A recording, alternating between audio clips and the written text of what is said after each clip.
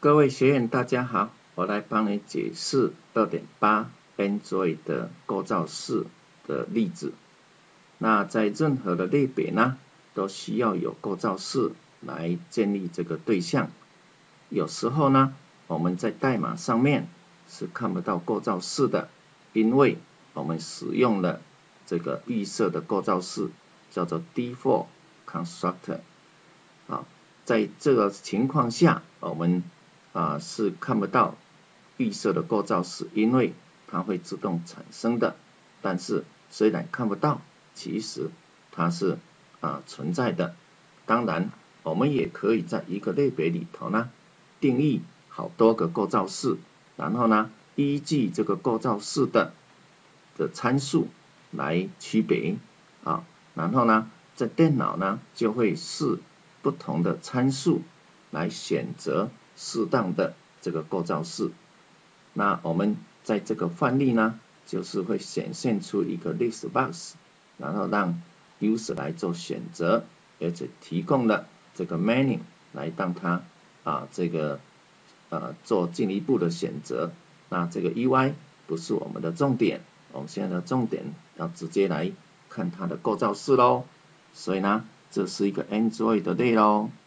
叫 AC 零一。但是你在这里你看不到这一个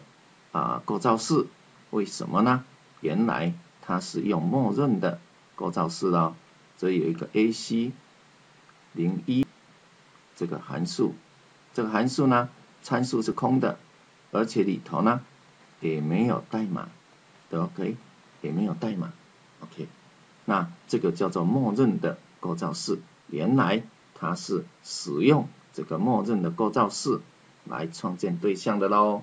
啊，所以 AC 零一是使用这个默认的构造式呢来创建对象的喽。那我们再看这个例子里头另外一个类别叫做 Data Model，这个 Data Model 呢就是有两个构造式喽，一个叫做啊这个 Data Model，那里头也有这个啊设定初级值的代码喽，那这个也有。那这个是没有参数的啊，那这个是有参数的，插在这里。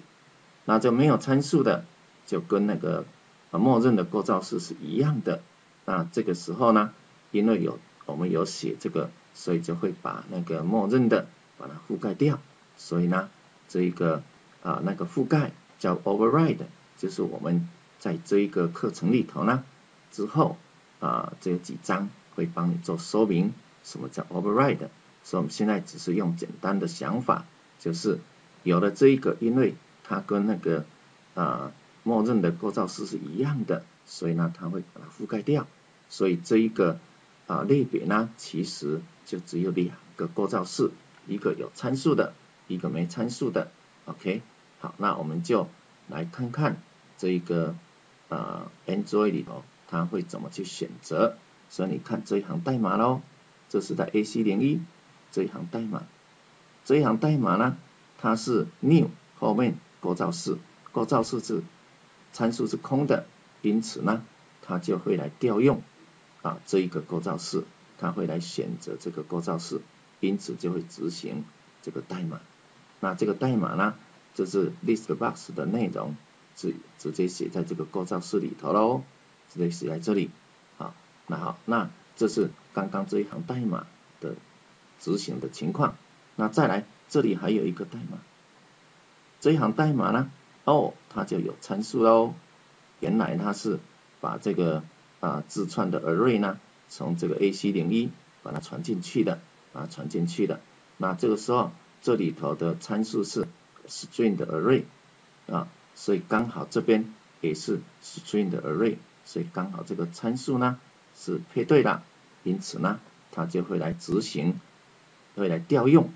这一个构造式，会来执行这个初期设定的一个任务啊任务，因此呢就完成了啊，所以呢在 data model 呢提供了两个构造式，一个是有参，一个没参数啊，一个是有参数的啊，所以它就依照这个参数来做配对选择，那两个都有初期值的设定，OK。到初级值的设定，它们都是有担任初级值的设定任务，但是初期值的数据，一个是建构式里头自己给的，一个是外边出进来的，所以它的数据来源不同，因此呢参数也不同，它就依据这个参数的不同来选择构造式。至于 AC 零一这个构造式因为没有特别的初值要设定，所以呢就直接使用这一个默认的构造式了，所以代码里头呢可以省略不写。好，接下来我们就来谈二点九的子类如何构建构对象喽。啊，我们刚刚所谈的都是一个类里头的建构啊，那现在呢，我们要把它扩大到一个父父类子类啊这样的一个建构。那这个子类到底是怎么建构的？OK，好，那我们现在就要来了解这一个啊继承的关系。那我们对于这个继承的关系啊有仔细的认知的，有充分的理解的，你就很容易去了解它在构造式之间呢是什么关系的。其实它的构造式它会调用这上面的构造式的，那怎么调用？这就是我们接下来要探讨的。那在了解这个构造式之前，那我们再对子类、基类对继承做更深刻的了解喽。前面我们说明了怎么样对众多的对象加以分门别类，而形成一个类别的继承体系啊，就是 person 分为 teacher 分为学生，那学生又分为研究生、大学生等等的高中生，所以对学校人员加以分门别类，就得出一个继承体系喽。所以 A 继承 B 类别啊，则称 A 为子类啊，teacher。继承 person，所以呢，这个就是称为子类啊，称为子类，而它 V 啊，就是 A 继承 V 嘛，就 teacher 继承它，所以它叫称为父类或者叫基类啊，都可以，父类或基类啊。那在 Java 中，父类又称为基类啊，基础类别，子类又称为衍生类别啊，C 加加也是这样。也许你会觉得继承观念很陌生，但是啊，这个。啊，其实蛮简单的，蛮简单的，是 A 是 V 的子类，那 A 就是 V 的一种特殊的种类啊，它的比较小啊，譬如说啊这个艺术家，对不对？那是音乐家，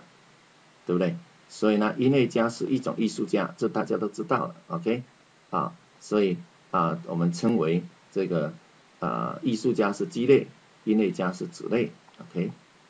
所以呢，从上图可以知道，teacher 继承的 person，也也就是说，teacher 是 person 的子类，那 teacher 跟 student 都是 person 的一种特殊的种类，就是它的都是它的子类，啊，所以对于软件开发者来说，除了了解这个分门别类之外，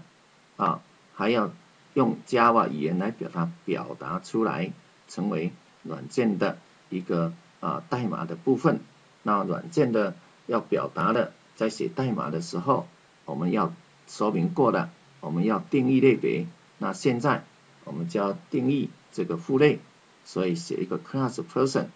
然后接下来要定义子类，teacher extend person，student extend person，那这就变成了我们的代码。那这里的的关键字 extend 呢，啊，这个后面是写的是这个是父类。啊，然后这是子类，啊，这子类，OK，那么这现在已经知道它表达了继承关系，啊，就是它去把它扩充，啊，去把它扩充，可以增加了更多的属性，更多的功能，那也继承了既有的功能，啊，这个继承，现在我们要了解的重点是子类到底从父类继承了什么东西，啊，我们要了解，所以我们就知道。在类别里头呢，就包含有数据跟函数嘛，这个就是属性，就是我们讲这个啊对象呢，我们要关心的是属性嘛，对不对？一个归关心的是行为，我们要描述它的这行为，那么属性是以数据来呈现嘛，行为是以函数来表达嘛，所以呢，一个类别里头就是数据跟函数，因此呢。子类继承父类，啊，子类就继承父类的数据，啊，就是因为类只有这两里头内涵就这两个嘛，那么子类继承父类的就就继承这两个，一个是数据，一个是函数，啊，那么现在就来看看它的所谓继承的意义是什么，啊，那啊我们大家都知道这个类呢里头就是数据函数的定义，但是没有内容，内容是放在对象里头。所以呢，我们这里的继承，及继承的指的就是那个数据跟函数的定义，而不是指的是内容啊。这个我们接下来会啊帮你仔细的说明，OK？所以这是 class 是 person 啊 person 这个类，然后呢有这个 teacher 来继承啊这个 person 啊或者是扩充，那之后我们会再来说明为什么啊这一个 Java 采用扩充这个概念，而不是用继承这个啊 inherit 的这个概念呢？啊，那我们啊之后也会来说明啊这一个啊这两者有什么微妙的差别。但是我们现在暂时呢采用继承这个概念啊，让你比较容易理解。OK，之后再来跟你说明这个 extend 啊为什么不用 inherit 啊的也有原因。OK，好，那我们现在。就来了解这个 person 里头有两个两个属性，啊，两个属性啊，但是这里头不是指哦，这里是名字，这是属性，一个 name，一个 age，好，那接下来 teacher 呢，他从这个 person 继承的这两个属性，再加了第三个属性，OK，好，那我们现在就来说明一下所谓。继承数据表示继承数据项的定义，而不是继承数据的值啊，这个是我们现在要讲的一个重点啊，要了解这个意义啊。那这个必须要区别类别定义数据项，就包括呢这个数据的形态啊，譬如说啊名称一定是 string 嘛，那 age 呢就是啊年龄应该是整数嘛，对不对？所以对象在建构之后，对象内才有数据的值。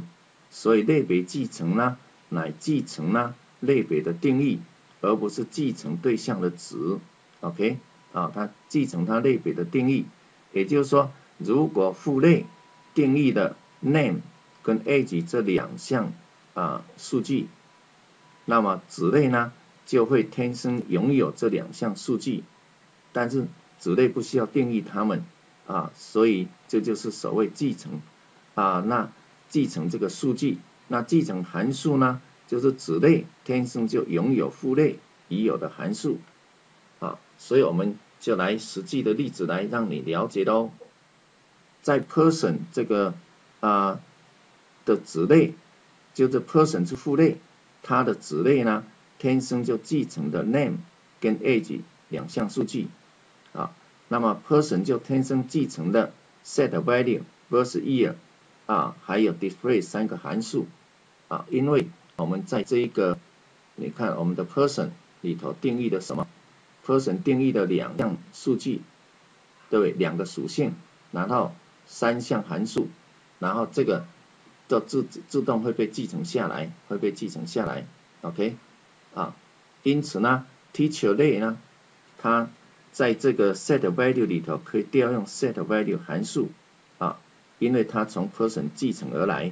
啊。这个 teacher 的类别有三个数据项喽，你看啊，这两项呢是从 person 继承而来，这一项是自己定义的啊，自己定义在这里啊，自己定义在这里啊，这里它是从 person 继承的这两项。自己又定义了一项，所以它总共有三项的属性啊。那它自己呢，继承的三个函数，继承了三个函数啊。OK，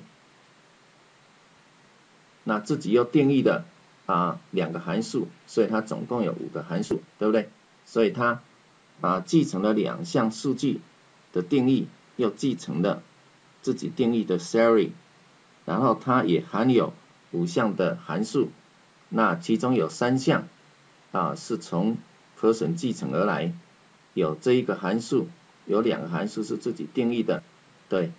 所以呢，set value 是 teacher 所继承而来的函数，那 teacher set value 可以直接调用它，因为它已经继承来了，所以可以直接调用它，啊，来设定 name 跟 age 的值，OK，之后 teacher set value 自己设定 salary，它在讲的就是啊这个动作，啊这个动作。我们要 set value 的时候，那么首先它调用的啊父类所定义的 set value 来设定 name 跟 a 跟跟 age，再来自己设定了一个 salary 啊，这是所以呢，这里重要的就是在谈啊继承的什么东西，OK，所以呢 teacher value 它啊这 teacher set value 可以直接调用 set value 来设定它，那这个 set value 是在父类的。啊，这是父类的，然后这是在子类的，啊，那因为子类从父类继承的，所以也就是说子类可以调用父类所定义的这个函数，啊，因为它继承下来了。那 teacher set value 自己设定了 salary，OK，那 print 呢，也是直接调用 display 来显示啊 age，那 display 呢是父类的，那这是子类的，所以子类的函数呢。可以调用父类的函数，因为它从父类继承下来啊。那 print 自己在输出 salary 的值。好，那现在也许你会问，子类自己定义的函数是否与父类啊跟这个函数可以同名呢？答案是 yes 的啊。那我们啊之后会来说明，OK？好，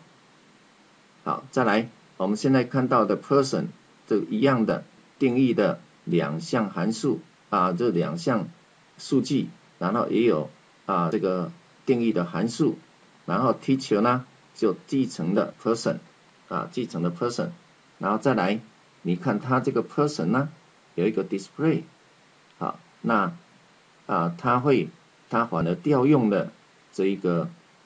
父类的 display 啊这样子，那这样也可以啊这样也可以啊，那这个本来就是如果这边没有这边没有这个啊，那就直接继承下来，继承下来，那就直接调用它啊。那现在是自己写的 display，那也可以，因为你本来就取代它，现在只是把它调用它，对，那再增加啊意思，这样就可以了。那在这种情况下，teacher 拥有两个 display 的函数，一个是由 person 继承下来的，一个是自己定义的啊。这一个是自自继承下来的，好，然后这个是自己定义的，这时候电脑可以分辨它们呢，可以使用 super 这个关键字来区别，所以呢，啊，这一个 teacher 的构造式里头的代码啊，就是在这里头，你看是一个 super，这表示呢，它调用的这一个父类的构造式，啊，这表示调父类的构造式，那这个表示调用的父类的这个 display 函数。有没有？所以这表示调用父类的构造式，这里的话表示调用父类的这个 display 的函数，OK？好，那这个就是我们的这一个目标，我们来说明了，让你了解这个啊这个实际上这个基类子类呢到底继承了什么啊？继承了什么？好，那我们在这里可以让你了解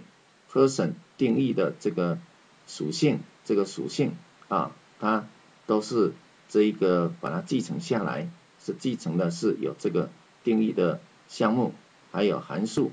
但是这里的不是对象的继承啊，就要特别了解。现在我们谈的是类的继承，而不是对象的继承。那所谓这个 A 级里头的，像这个值有没有？这个值都是在对象里头的，所以并不是继承。啊，这个对象的值，而是继承它对啊类里头的这个定义，它把类里头的定义、父类里头的定义把它继承下来。好，但是因为类里头呢，并没有这个值，值都在对象里头，所以我们谈的并不是对象的继承，呃，我们现在所谈的是类的继承。OK，好，无论 Java 或 C 加加都是以类的继承为主。那这要特别的留意的地方。好，那我们就暂时休息一下喽，谢谢。